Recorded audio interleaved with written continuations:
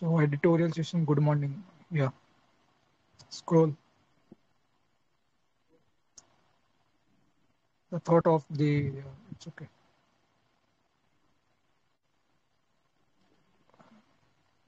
Today's editorial is about the on arrest and summons under the GST law. Setting higher requisites for arrest or summons under the GST law is a welcome move. Is a welcome move. So arrest or summons. So what is the difference between arrest and summons? If you want to take action against anyone, for that you need to summon. And after that, some person, that person will be yeah, appear before the authority, or whatever the authority. Arrest means you're arresting a person physically. This is the difference. So there will be now the government, not government, basically the CBSE board is planning to setting higher requisites for the arrest or summons under the GST law. And it's a welcome move as said by the apex court of the India. Apex means Supreme Court of the India. Yeah, scroll. Scroll, Leo Patrick.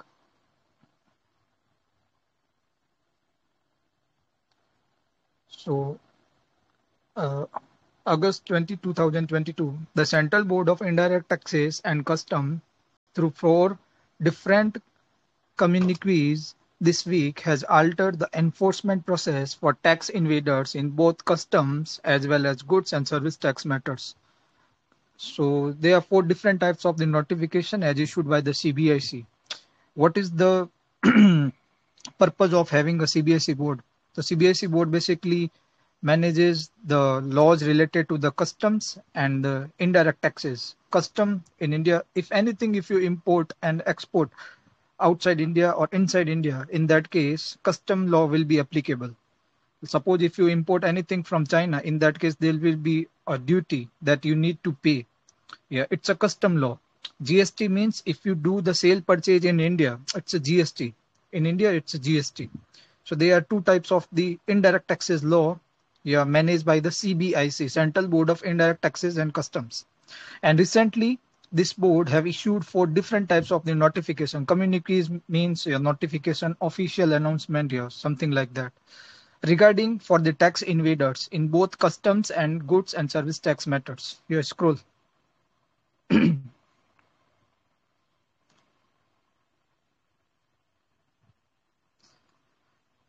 so First, it significantly raised the monetary threshold for initiating the prosecutions and arrest under the Custom Act. So first, that means the first notification, they have significantly raised the monetary limit to start any types of the prosecutions. That means uh, any type of the action, yeah, the legal action against anyone. And arrest, that means the physically arresting someone under the Custom Acts. The first notification is all about the custom. Custom is related to the import export. Separately, the board laid down elaborate the guidelines for the GST official before they exercise their power to arrest and issue summons under the central GST law. So the board, board here, board means CBIC, okay? Board means CBIC board, Central Board of Indirect Taxes, laid down elaborate guidelines for the GST officials. Officials means uh, authorities, officers, GST officers before they exercise uh, exercise their power to arrest anyone and issue summons under the central GST law. So there are few types of the guidelines issued by the board uh, to the GST official before exercising their power to arrest or issue summons under the central GST law. While such norms were laid down for the legacy laws governing taxes such as central excise that are now subsumed into the GST, CBSE felt the need to issue the fresh guidelines. So subsumed means mil jana. Okay, that means uh, a particular tax got merged into another tax. Uh, before GST, there was a separate law for the manufacturing. If you do manufacturing, in that case, you need to pay central excise. But when in 2016, when GST law got uh, uh, introduced in India, then the central excise law got subsumed into the GST. Subsumed means merged into the GST and CBSE felt the need to issue the fresh guidelines because the previous guidelines was issued for the central excise but now we need the guidelines for the GST officials. That's why CBSE issued few more guidelines. That means the updated guidelines for the GST officials. So CBSE, previously the name of CBSE board was the CBEC, Central Board of Excise and Customs. But now it's a CBIC, Central Board of Indirect Taxes and Customs. So this one, the, the name of the board also changed when we brought the GST in India. Okay. Scroll. the summon checklist. Uh, the summon checklist. Checklist means there are few questions. Uh, in someone's uh, whether you are uh, you have done this particular transaction yes or no? Whether you did this whether you invaded tax whether you charge uh, uh, low rate of the taxes whether you paid your taxes by due date yeah, there are few checklists. That means the questionnaire for instances take note of the routine issuance of the summons to the top officials of the firm even for procuring the records available on the gst portal okay? So there are few summons checklists. If suppose a GST official want to get the access of record of any businessman, any business or any businessman, in that case, there are few guidelines. So while uh, starting the any types of the prosecutions against anyone, the GST official need to follow that particular guidelines issued by the CBIC.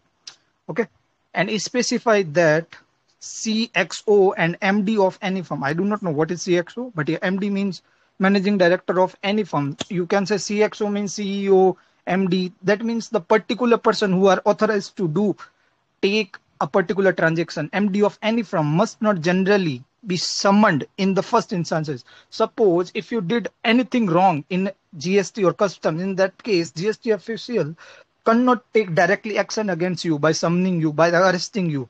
In that case, there will be few guidelines. That means uh, first you need to ask that whether you have done this particular violation of this law if yes in that case if that person voluntarily yeah make correct all the mistakes um, all the mistakes that he had done in that case it's okay. Yeah no need to summon no need to ask uh, to anything else no need to arrest him okay? So no need to arrest him. I think it's off. Where is? Hmm? Where is the screen? It might be off side, your side. Yeah, yeah. Mm. No, it's clear. okay. Uh, okay, subsume in the first instances, but only when their involvement in tax invasion is clearly ind- indicated. If you do the tax invasion and it's a clearly, that means the explicitly uh, you got to know that yeah, this particular person had done something that is illegal to this particular law. In that case, you can summon and arrest. At the same time, the invasion of the tax should have some substantial amount of the monetary limit. Suppose you if invaded uh, 10,000, it is no, uh, nothing if you see from the broader perspective. But if you invaded tax around 10 lakh, 10 crore, in that case here, it's a substantial amount. It, it matters a lot.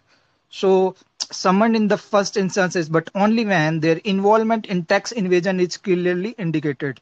So there are two types of the terms that are used in tax laws. That means the tax invasion and tax plannings. So there is a difference between tax invasion and tax planning. If you do tax planning by using the legal means of any uh, path of any law, in that case, yeah, it's okay. But if you do anything that is illegal, then it's tax invasion. And tax invasion leads to the prosecutions and may leads to the physical arrest as well. Okay, yeah, scroll.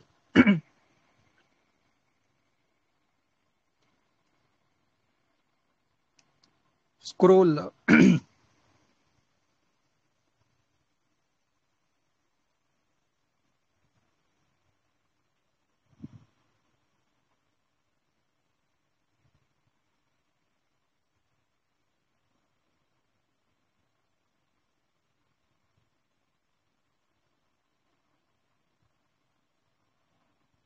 Uh, not visible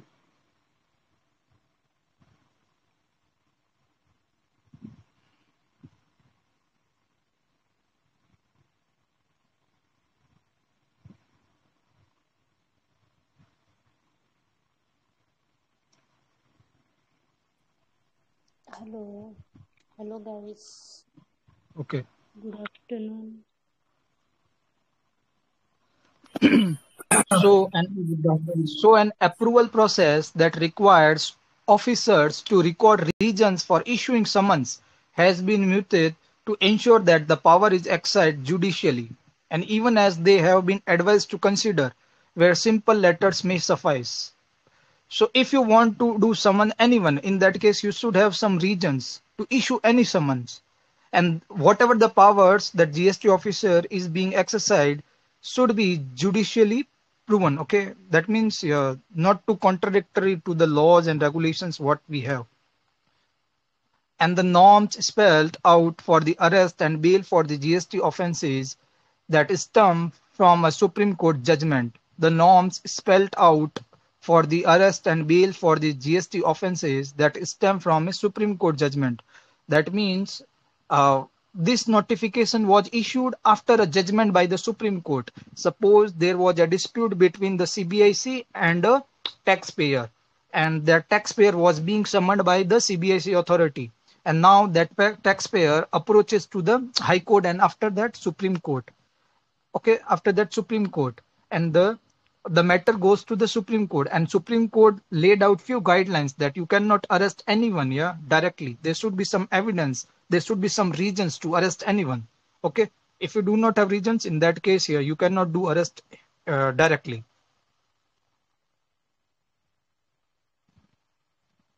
And after that your cbse bring few guidelines and now we are reading all those guidelines i think i should read from pdf so i will read from the pdf the prerequisites laid, down, laid out before an arrest include the availability of the credible evidence uh, credible evidence of wrongdoings as a starting point. That means the principal condition to arrest anyone there should be some credible evidence. That means the in principle evidence that yeah that, person uh, that person have did something that is wrong in the law.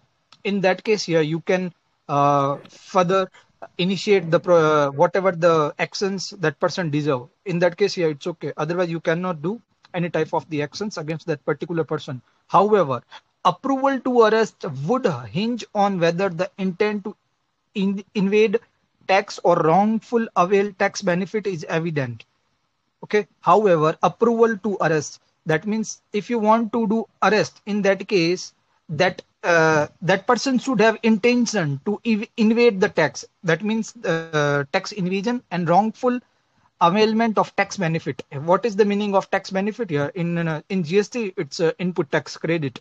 Suppose what is the input tax credit? If you purchase Suppose if you are a businessman and if you purchase any raw material from a manufacturer and you paid GST on it, and now you are selling the those, uh, then you basically selling those raw materials and maybe a finished goods product to anyone else. Then whatever the tax that you have paid, you will get the credit of that particular tax yeah, as a input tax credit. So it's a tax benefit means the input tax credit in GST is evident. Evidence means the clearly, uh, explicitly, and guilty mind is play, uh, palpable. I do not know what is palpable. Yeah, but there should be some guilty mind. Yeah, from the taxpayer taxpayer end as well. Culpable होना चाहिए. I think uh, not palpable. Culpable. I think. Culpable means Maybe doable. Okay. Mere disagreement on interpretation a tax levy should not result in an arrest. Okay.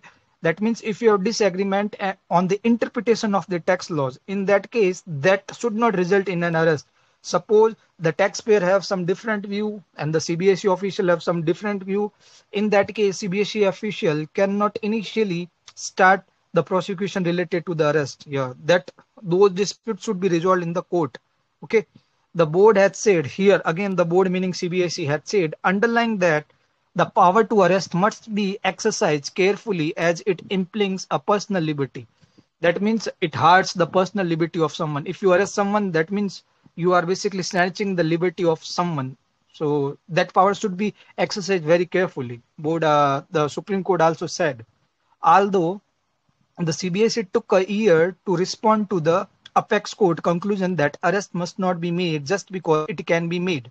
Okay that means the supreme court judgment was uh, maybe 2 to 3 years old and now after cbse basically did uh, something uh, by issuing some guidelines so it was too late that you can and after that the Supreme Court, that apex court means the Supreme Court also said that you cannot arrest anyone just because it can be made. It's a written that you can do the arrest, but yeah, you should not do. You should also check the few more the additional fact like uh, the monetary terms of the tax invasions, uh, any uh, anyone else uh, maybe CAs maybe uh, it may be due to the mistakes of the CAs it may be due to the mistakes of the accountants maybe due to the mistakes of the employee. So you should also consider the additional factor as well okay? So you cannot uh, initiate the direct proceedings related to the arrest. So it is not good uh, as, as supreme court also said apex code means supreme court okay it latest uh, dictates will assures discomfort uh, among the GST payers about the tax terror of a new variety. So if you do the arrest anyone, that it will uh, basically spread the tax terror of a new variety among the GST taxpayers. So you should have some laws that basically do not spread any types of the tax terror of a new variety. That means bear between the uh, GST taxpayer that if you do not follow this particular, then you will be get arrested immediately by the uh, CBSE authority. So tax laws and whatever the guidelines uh, issued by the CBSE authority should be in such way that do not spread any types of the tax terror of a new variety. Okay. While the GST Council will continue to navigate the remaining cleanup of the exemption. So GST Council and CBSE both are different GST Council means Nirmala Sitharaman is the head of the GST Council and one finance minister, that means uh, with Mantri from each state or union territory, uh, yeah, maybe Delhi and Pondicherry have the assembly from each assembly and they basically do the voting. Uh, this is how a GST Council is being formed and here majority concept apply. Yeah, suppose if we want to increase the rate of anyone, like recently the uh, government basically put uh, GST 5% on the uh, day-to-day uh, packaged food like dairy milk, not dairy milk, yeah, milk, packaged milk, or few more food items. So GST Council basically passed that resolution to basically impose 5% taxes on these items. So this is how your GST basically work. GST Council will continue to navigate the remaining cleanup of exemptions and inverted duty structures. So what is the meaning of cleanup exemptions means there are few exemptions like on agriculture product there is no gst suppose if you basically purchase milk un unpackaged item if you purchase milk from your doodhwala in that case you need not to pay gst but if you purchase doodh uh, from not doodh milk from the any handloom any um, that means the anything yeah uh, and that particular item is packaged in that case you need to pay taxes. But uh, uh, if you do not want to pay taxes then government have basically made few lists a list for the exemption exemption list. We call it as a exemption list. And what is the inverted duty uh, structures? Uh, suppose if you are a person and what is uh, your business is you basically uh, basically purchase raw material related to the wood. And then you make um, furnitures and then you export those furnitures outside India, like USA and Western countries. But if you basically purchase raw material, that means the wood from anyone, yeah. In that case, if you paid GST, suppose 12%, but when you export, but in India we do not have any types of the duty on export. Suppose you paid only 0%, that means you are paying 12%, and uh, when you do the export, then you, you are paying uh, 0%. In that case, it's inverted. That means you are paying 12% to the raw material provider and you are paying, uh, you are basically charging 0%. So uh, government do not wants that uh, export should be more expensive. In that case, government basically have some laws for the inverted duty structures. In that case, you can easily get refund whatever the taxes that you have paid to the raw material provider. That means you will get the refund of 12% taxes. That means the GST that you have paid to the raw material provider because you do not you cannot take the input tax credit because you do not have anything to pay it because export are basically uh, zero percent. Here a custom duty on anything is zero percent. In that case you cannot pay. So it's a better to get refund. So it's an inverted duty structure.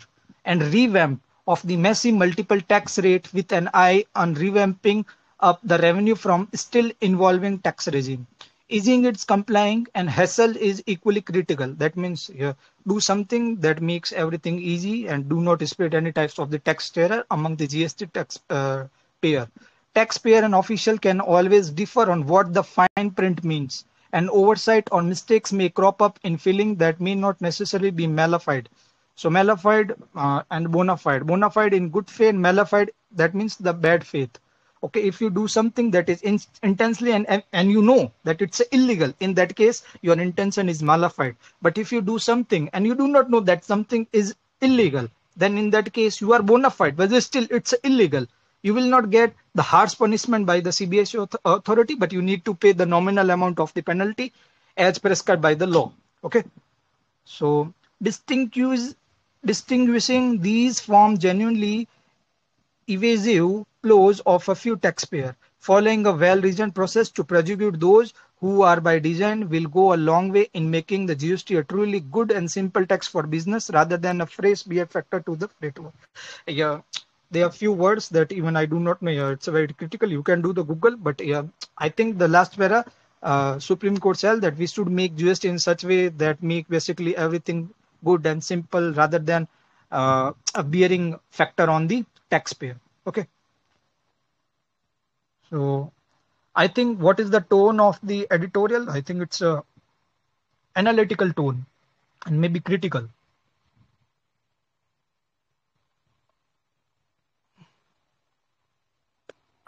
Analytical. Analytical.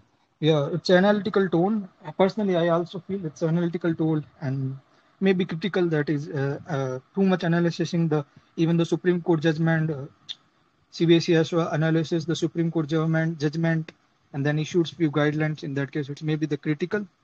Okay, thank you so much. Thank you, brother. I also think it's analytical. Hmm. Yeah, you can off the screen sharing, Leo Patrick.